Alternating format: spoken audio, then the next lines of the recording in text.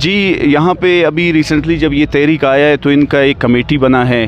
تو یہ لوگ جب گئے چیف سیکٹری کی طرف ان سے ملنے تو انہوں نے کہا ہے کہ بھئی یہ جو مزہ مزہ سر کراسنگ ہے، تو یہ بنیادی طور پہ وفاق کے ہاتھ میں ہے۔ تو ہو سکتا ہے کہ اگر یہاں سے یہ حل نہیں ہوتا ہے تو یقیناً یہ تحریک اسلام آباد کی طرف بھی رجوع کر سکتی ہے۔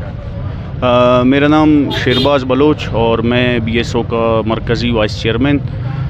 بنیادی طور پہ یہ آج کا مسئلہ نہیں ہے یا یہ پھر پہلا مسئلہ تو نہیں ہے۔ اس سے پہلے بھی ہم دیکھتے ہیں کہ پورے بلوستان بر میں مسلسل کبھی تربت بارڈر بند ہوتا ہے تو کبھی پنجگور بارڈر بند کیا جاتا ہے۔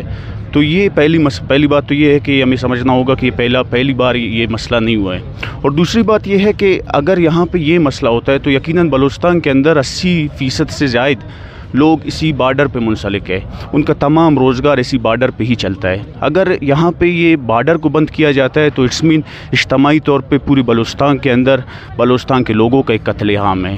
تو بنیادی طور پہ ہمیں یہ سمجھنا چاہیے کہ یہ جو مسئلہ ہے، اگر یہ حل نہیں ہوتا ہے تو اس کا خواہ مخواہ ایفیکٹس کوئٹہ تک آئیں گے، اس کے ایفیکٹس خواہ مخواہ بڑے بڑے شہروں تک بھی پہنچ جائیں گے۔